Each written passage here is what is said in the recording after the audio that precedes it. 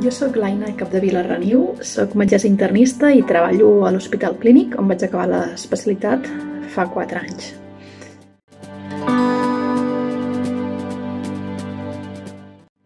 Si bé actualment en les carreres de Ciències de la Salut el percentatge més elevat de, de persones que estudien són dones, eh, un 70% respecte a un 30% d'homes, la veritat és que això no reflecteix tampoc en els càrrecs de poder dels centres hospitalaris o centres de salut, perquè només un 30% de les dones actualment tenim un càrrec en els centres hospitalaris.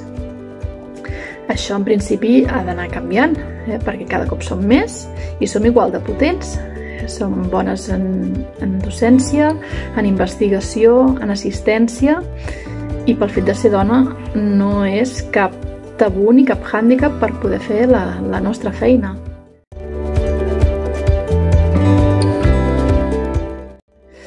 La veritat és que jo no he trobat cap problema pel fet de ser dona.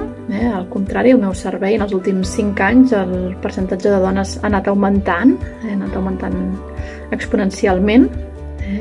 i actualment gairebé som 50-50.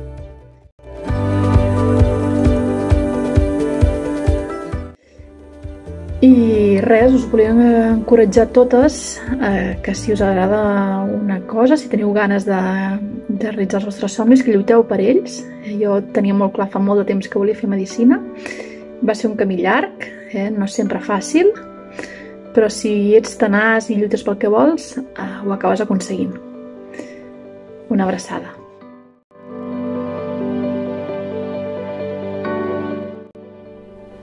Soc la Carmen, em dedico a la investigació científica.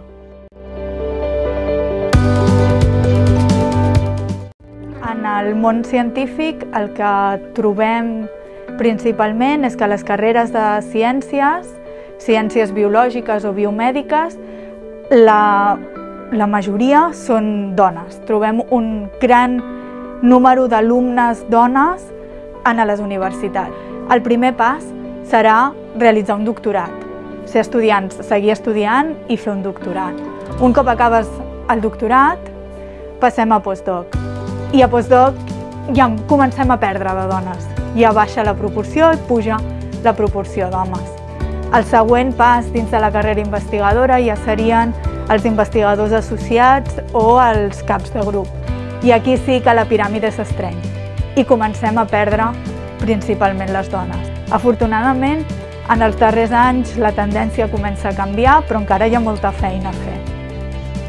En, en aquest escalat o en aquesta piràmide, el punt crític de pèrdua de dones és el pas doncs, de, de postdoc a ja posicions de, de cap de grup. I aquí es barregen diverses coses. Una és la maternitat.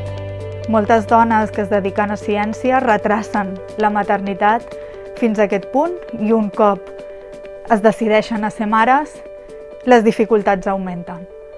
A més a més, eh, fins fa relativament pocs anys, les beques que et permetien seguir una carrera investigadora no contemplaven les baixes per maternitat o els, els, els trencaments de carrera per, per maternitat, no? on tu decideixes doncs, fer un any sabàtic per dedicar-te a, a la teva criatura. I això segueix perjudicant principalment a les dones, ja que normalment són elles les que fan aquest tipus de parades. També s'hi afegeix un altre factor com és el, la competitivitat. La ciència és molt competitiva per poder avançar, per poder tenir beques, per poder tenir finançament, que és molt escàs. Necessites tota una sèrie de publicacions i de dedicació.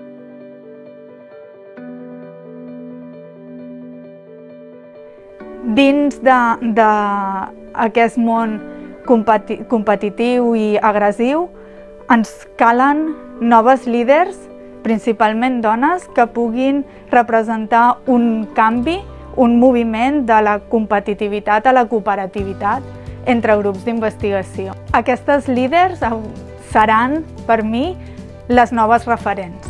Actualment hi ha molt de moviment i molta, molta visualització pel que fa a dones científiques, com podria ser Marie Curie o, o Rosalind Franklin, que avui per avui tothom les coneix i sap què van representar i què representen, però ens falten referents actuals. Ens falten dones que siguin reals per nosaltres, que ens, ens envien el missatge de en la societat que tenim actualment això és possible.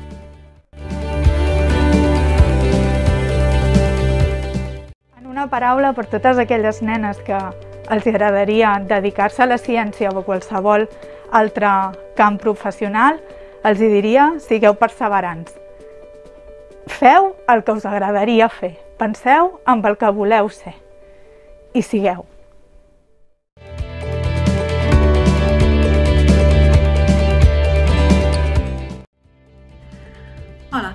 Dic Katia Cortés, sóc enginyera informàtica i doctora en intel·ligència artificial.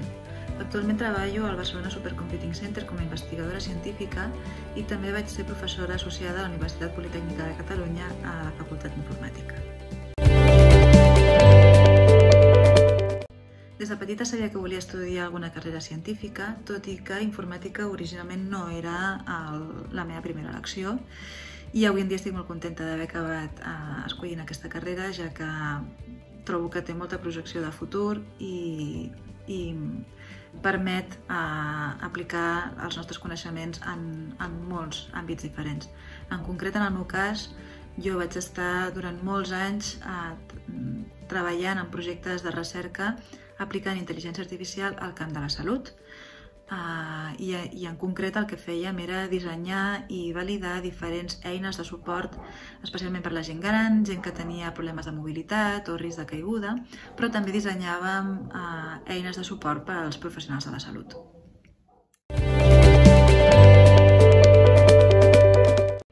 Jo, per sort, des de petita vaig tenir bastants referents uh, propers uh, dintre del món de la ciència.